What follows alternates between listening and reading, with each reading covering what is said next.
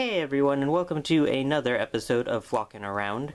I'm sorry that we have not been uploading as consistently as we would like to. The weather's been pretty awful, uh, January in northern New York. um, and our lighting inside the coops is pretty bad, so not great for taking videos. But uh, it's in the third, okay, it's like high 20s today, so it is warm enough for the birds to get out a little bit. And today we have the breeding flock out. Right now we're watching Miss Bellis, who is a two-year-old hen. Uh, she is second generation from my in my line, and she is the second oldest hen I have um, of the Orloffs. And she's getting a good dust bath on. She only recently finished up a molt, so her tail is really short still, which is kind of silly but she's laying well, so. And here we have Miss Dandelion, who is one who is getting very close to the camera. Uh, she is one of my latest generation birds. She, let me think. She is, I want to say, third generation in my flock. Uh, she is nine months old, she is the youngest in the breeding group right now. But she's old enough that she's laying hen-sized eggs. Uh, see, when pullets start laying, a pullet being a hen under one year old, uh, they lay very small eggs initially, and those are not good for hatching. The chicks, you know, they don't have enough room to grow in the egg very well, so they come out smaller and tend to be not as strong but once their eggs increase in size, which usually takes two to three months from when they start laying, then they are safe to hatch from usually. And of course, next to her is Daffodil. And he is, he is also nine months old. And he is the second highest ranking rooster in the flock very he's a really nice example of an Orloff. I'm very proud of him. He is third generation in my line too. You can see his upright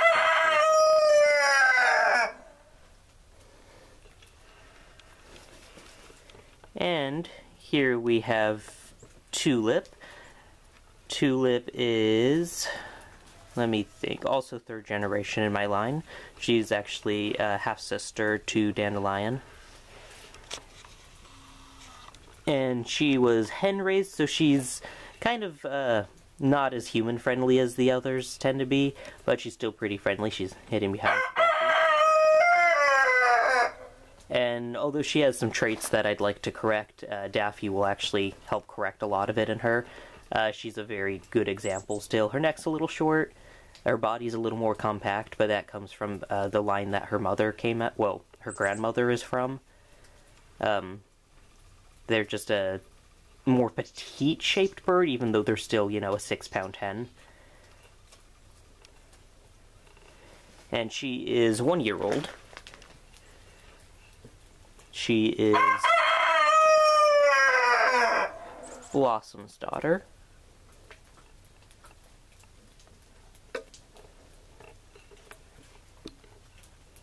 And if you notice, she has a crooked toe. Uh, that did not come from her breeding or anything like that. That happened when she got a nasty injury on that toe. And it's healed up pretty well. Like, she doesn't have any issues walking or anything. But she can't be shown. But she's still a beautiful bird. And it doesn't really give her any issues.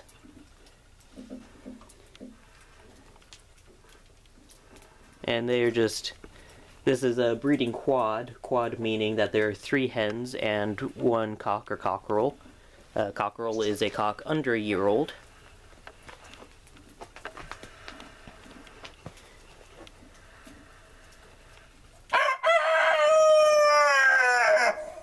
And I only have one breeding pen set up, so I only can do one breeding group at a time right now. And this is obviously an all-spangled group, so all of their babies will be spangled Orloffs. Daffy has an exceptionally good temperament. He's very, very mild mannered, very good with the hens, so they absolutely love him. So we should have good fertility. Um, he's not too hard on them. He works very hard to impress them. He builds nests, finds treats, and he gets along well with other roosters. So that's exactly the kind of temperament I like in uh, in my males in my program. I don't want them to be aggressive towards other roosters. I don't want them to be nasty with hens. I don't know how he is with chicks yet. Uh, he was good with the younger group, but they were only a few months younger. Not a few. Uh, uh, no, he knew them when they were youngsters, and he was good with them. So overall, just really good temperament, really solid bird. He did well at the show. He was a uh, one show he's been to. He was a little stressed, but not bad. It was his first show, so they're always a little weirded out by that. They're alarm calling because there is a crow flying over.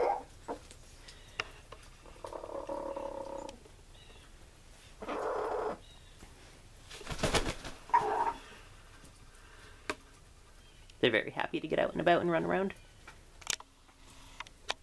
The uh, growl noise that they're making is a um, sort of less alarmed alert sound. Hey, like, hey, there might be danger, but we're not super super worried about it right now. Just hey, that might be danger, so like pause what you're doing for a moment so we can assess it. But then they go back to their activities because they don't raise a further alarm, so it's like, oh, okay, you know, we're good.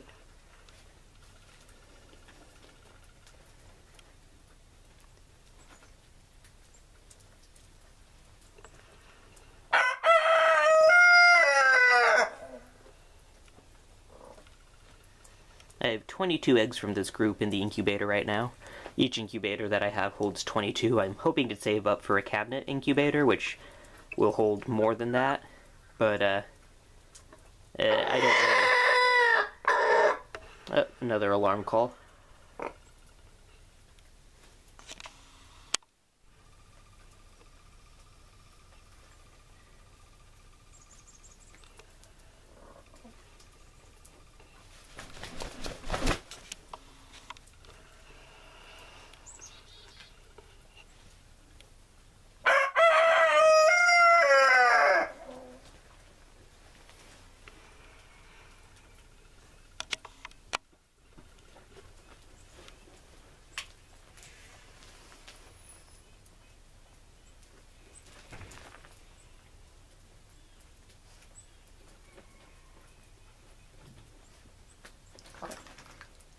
This breeding group has been together for about three weeks now.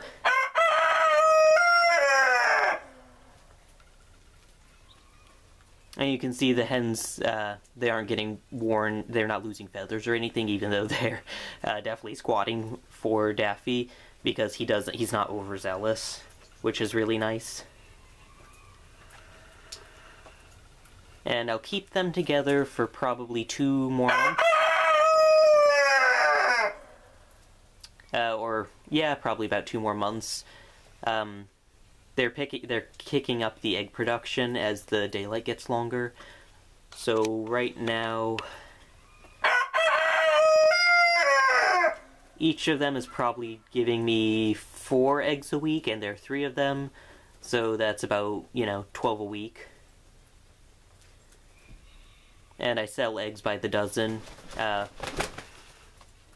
I'm not selling eggs right now uh, because I'm collecting eggs for hatching instead, as I have some uh, chick orders on my wait list.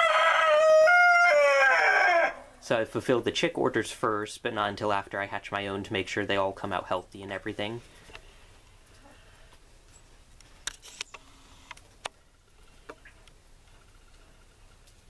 And then once the chick orders are fulfilled, um, then, then I start the egg orders. And once I'm done fulfilling uh, the waitlist orders for those, Uh, I'll give, I'll move the girls out of the breeding pen. They'll get a break. And then in a little bit, I'm going to move uh, my two mahogany pullets in with Daffy to start working on producing a uh, bet a, a good mahogany breeding group. I have one mahogany cockerel that's sumac, and two mahogany hens, Echinacea and Dahlia, but they are all direct they're 100% siblings, so I do not want to breed them because that eventually leads to decreased fertility. And uh, honestly, they wouldn't complement each other very nicely. Oh my god. G- great job, Daffy. I love Orloffs, but they're not always super bright.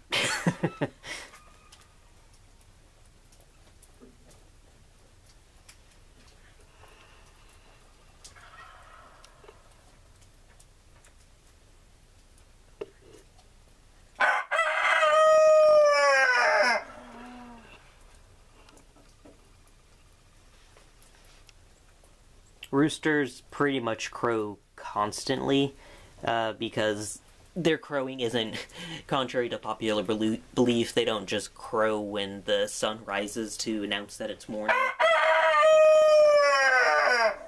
They crow all day because they use it as a form of communication. Um, they use it to locate other roosters to announce their presence to uh, announce territory and things like that so that other roosters know that they are around. And they also, I've seen them crow when they're trying to get attention when something is amiss. So I feel like there are a lot of different meanings to crow, and maybe there are little nuances in the notes they use or something. Uh, I don't know because we can't speak chicken super well. The best we can do is speculate. And of course, you know, there are behavioral studies for studying chicken language.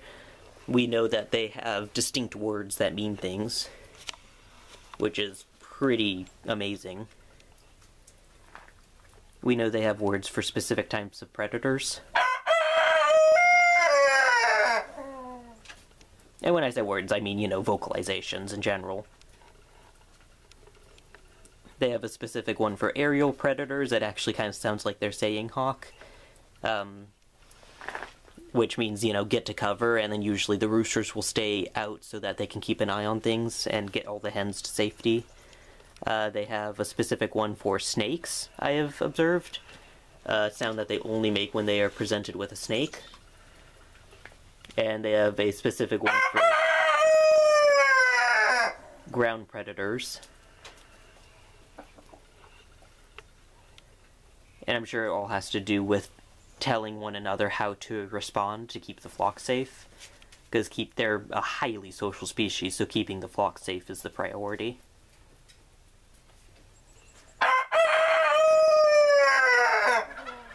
And part of why I like having multiple uh, cocks and cockerels in a flock is oh he's going to go find Dandy is because they work together really well to protect the flock.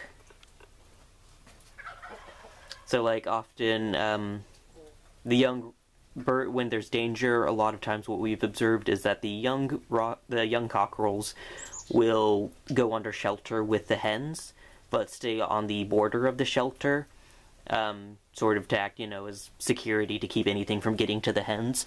And then the more mature birds will stay out and uh, will be prepared to be the first line of defense, basically. And then it's the more mature older birds who give the all clear, which makes sense. They're more experienced, so they should be better at assessing when a threat has passed. And it's it's really fascinating watching them interact.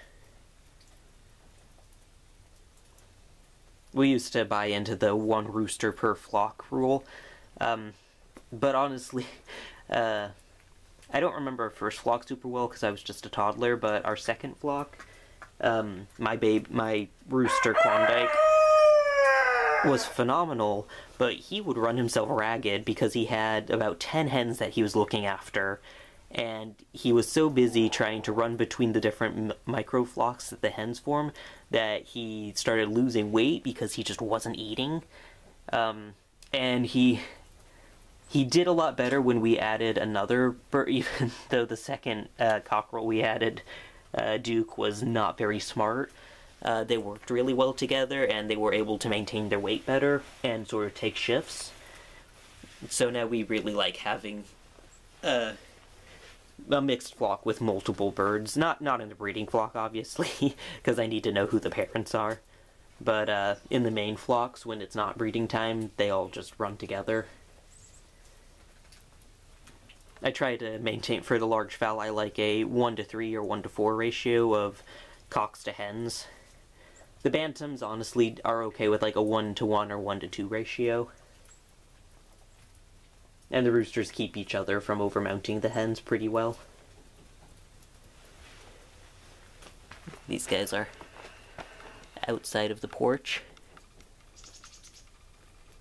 Not sure what they're doing. Dandy is really hyper. They're so sick of being cooped up. They're a very cold hardy breed, my Orloffs are, but when there's a lot of snow on the ground, they can't really get out because they don't like walking through it. Their chickens do not have good depth perception, so when there is snow on the ground, it makes it really hard for them to tell where it's safe to walk. I, I've actually, um, I cheat sometimes, and when I want good photos of them standing still, um, I'll put them in the snow because they'll just kind of stand still and be confused, but they'll stand upright and alert, so they look really good. And of course, you know, then they go right back in. We actually had a professional photographer come out the other day because we got a uh, coupon that took more than half of the cost for a set of portraits off and got some really good photos. I think we haven't, uh, she's still processing them and working her photographer magic. Um, but uh, I think we got some really good shots of, well, the turkeys and the breeding flock here, and my mahogany trio. So I'm excited to see those, and uh, I have her permission to share them on on my uh, face on the Equinox Giants Farm Facebook page which you guys are very free to visit. I keep it updated with uh, availability and just general photos of the flock and things like that.